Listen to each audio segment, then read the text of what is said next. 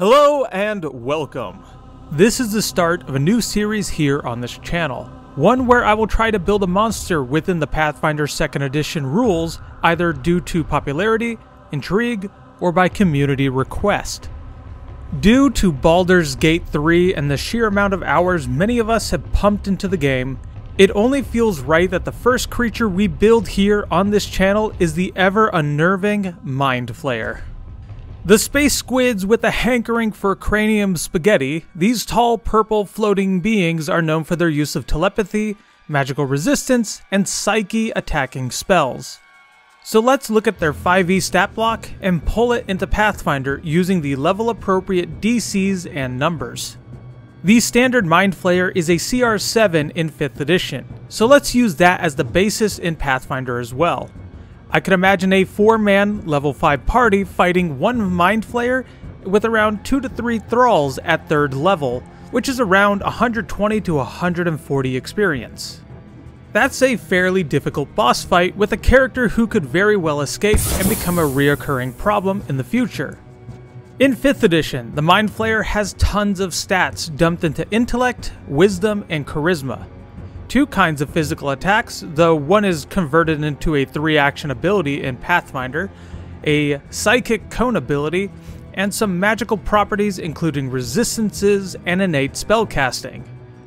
Bringing them into Pathfinder 2nd Edition, their stats should look like this. Roughly the same stat outline, but with larger numbers that feel appropriate for a being of this caliber within the Pathfinder system. This is comparable to many other creatures at level 7. From this point onwards, we'll be using the current set of building creatures rules. Here, we can find the average Mind Flayer's fortitude, reflex, and will saves that should fit their physical and mental abilities. Give them 12 fortitude, around 15 reflex, and a staggering 18 in will. These creatures are masters of the mind, and to imagine any number lower just doesn't feel right. For their perception, something a bit above medium, but not quite high, and a 16 fits that bill. Mind Flayers probe with their minds more than they probe with their eyesight, and unlike in 5th edition, Dark Vision here has no range limit. Next up is resistances, immunities, and weaknesses. While the 5e variants get magic resistance, which is a advantage on saving throws, in Pathfinder we should tackle this in a different manner via a plus 2 to all saving throws against spells. This means that non-magical DCs all have a higher chance to be effective, which would feel incredible to stumble upon as a player, as not needing to roll twice on the DC save can hide the ability. While we are covering magic resistance, the one reaction I gave the Mind Flayer is called Wizard's Bane, which is if a spellcaster is using a spell with the attack trait, the Mind Flayer can put up a shield that gives them a plus 1 AC bonus to that one spell. However, if the spell does multiple attack rolls, it only impacts the first attack. Weaknesses and immunities, however, I don't think there are any applicable. A true Mind Flayer's weakness is anything with the Mindless trait, as almost every single attack and spell has the mental trait so mindless beings and swarms would be completely immune to a Flayer's abilities. And moving on to the Mind Flayer's movement, they have a speed of 25 feet, which is lower than its 5e's variant of 30 feet, but I made this change because movement in Pathfinder can be done multiple times, and a Mind Flayer sprinting 90 feet while levitating just feels like a horror I do not wish on any individual. They do, however, have a form of permanent levitation, with a passive that helps outline what this may include. Levitate isn't the craziest of spells in Pathfinder when cast on oneself, but it is incredibly useful when in the right environment, and is just a means of making the Mind Flayer's tactics all the more potent. Looking at the Mind Flayer's skills next, they are exceptional at Arcane and Deception, but everything else is relatively tame, the rest are moderate for a creature of this level, or low, like the athletic skill. Moving on to the Mind Flayer's tentacle attack next, I gave it the grab trait, so for an extra action, they can grab its opponents, and it does a solid chunk of damage at 2d8 plus 6, but it is all mental damage. To round out alternative damage types, the Mind Flayer does have access to the telekinetic projectile, which covers bludgeoning, slashing, and piercing options from afar. But the real win condition attack that needs some setup to achieve is the 3 action ability called Extract Brain, which has a lot going for it.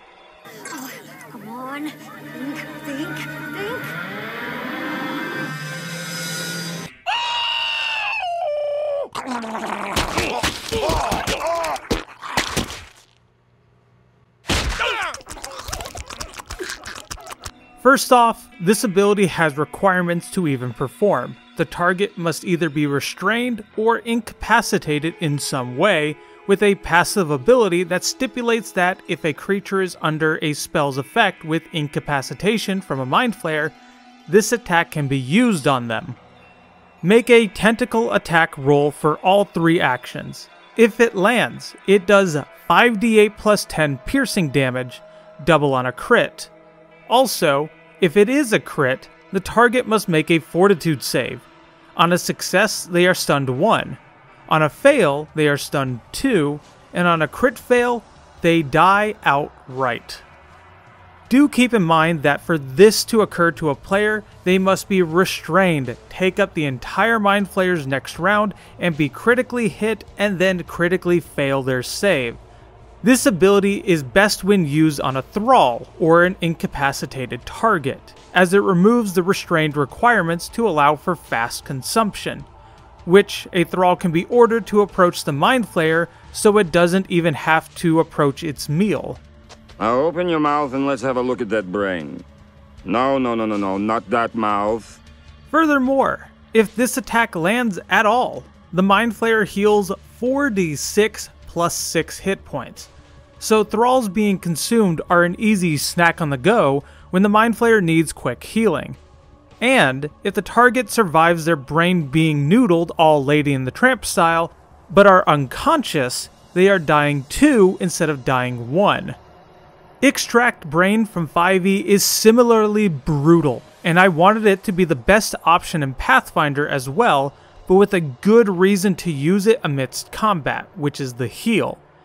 In 5e, it feels like a narrative choice on how to punch your players emotionally, where in my version it is a sound tactical decision as well as creating an impactful narrative. Finally, we had the last big action to talk about, Mind Blast. While the initial damage is dangerous at 6d6 plus 3, doubled on a crit fail, it also imparts Stupefied 1 or 2 depending on how poorly the creatures rolled on their save. In 5e, this ability has a 5 to 6 round recharge time, which is incredibly long, but the ability also does a 1 minute stun in that system whereas my version has a 1d4 plus 1 rounds before they can use it again. I was debating using Stunned again in Pathfinder as it's an easy choice for a 1 to 1. But because there are other negative conditions to play with, like stupefied, proned, or other options, it felt more interesting to cover more conditional bases with this ability. For the most part, that covers everything that the 5e Mind Flayer has, save for its rather tiny amount of spells at their disposal. Detect Thought, Levitate, Dominate Monster, and Plane Shift. Luckily for us, Pathfinder is chock full of spells that have the mental trait within the arcane tradition that feels like something the Mind Flayer would do. Also, this is the baseline Mind Flayer that I am giving you, as my friends have pointed out, Mind Flayers typically have spells similar to a wizard, so this spell list can be easily tinkered with as the GM sees fit. Something that is missing as a core spell from 5e is Detect Thought, as nothing exists quite like it in Pathfinder 2nd Edition. I'm tempted to make this an action with the same range as their telepathy of 120 feet. But what is available is the third level Mind Reading spell, and making it at will, which the GM can flavor to be that the Mind Flayer knows what that player knows, pending on the success of the spell roll. And while I won't read out every single spell's description that I gave the Mind Flayer, I will read out the spell list and point out my favorite ones. For cantrips, we got Daze, Telekinetic Hand, and Telekinetic Projectile. First level spells, Befuddle and Command. At second level, we have Touch of Idiocy, Warrior's Regret, and At Will Telekinetic Maneuver, which is such a perfect spell to give the Mind Flayer for messing with the party. Being able to disarm the martials all while being shielded from the spellcasters is tactically appropriate for Mind Flayers. At third level, we have Mind Reading and Levitate at Will, plus third level Fear and Agitate, both of which I love. A third level fear impacts up to 5 creatures, so potentially the whole party if they are within 30 feet of the Mind Flayer. But Agitate is such a fun ability despite being non-lethal, as at third level, this spell does 6d8 mental damage if the affected target doesn't burn actions to run around. At fourth level, we have Confusion and Charm, both of which are brutal in different ways Charm being incapacitation, and Confusion can turn a party member against everything around them. And finally, we have 6th level spell Dominate, which speaks for itself, and 7th level Plane Shift, which unlike 5e's version, has a 10 minute cast time. So this spell can't be used suddenly to allow the Mind Flayer to escape. The party needs to be distracted with spells, puzzles, or the environment to allow the Flayer the time to use this spell. So, that's the finished Mind Flayer for Pathfinder 2nd Edition. Now, with all the knowledge fresh in our minds, let's consider that 5th level party versus a Mind Flayer and its thralls. And let's say there are 3 of them for a full 140 XP fight. One Thrall and the Mind Flayer have the high ground, which the Thrall is using a bow to attack the party from afar.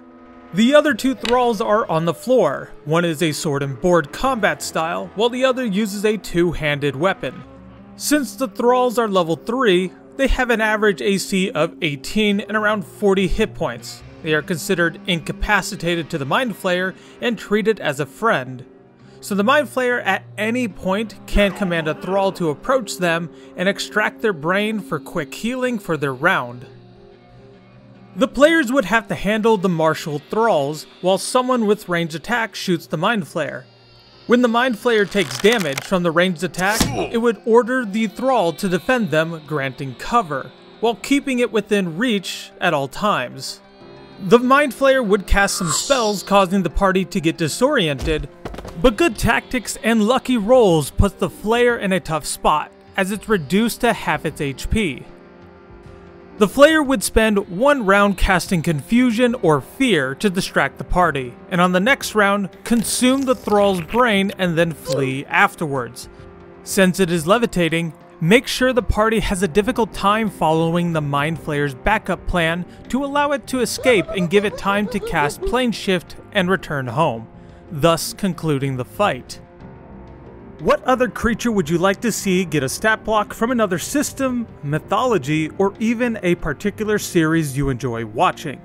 Leave a comment down below with your suggestions as, should any pique my interest and I have enough knowledge on said idea, I'd love to make a video on what it is you all have in mind. And while you're down there, hit the like and subscribe while you're at it. Perhaps even the bell maybe?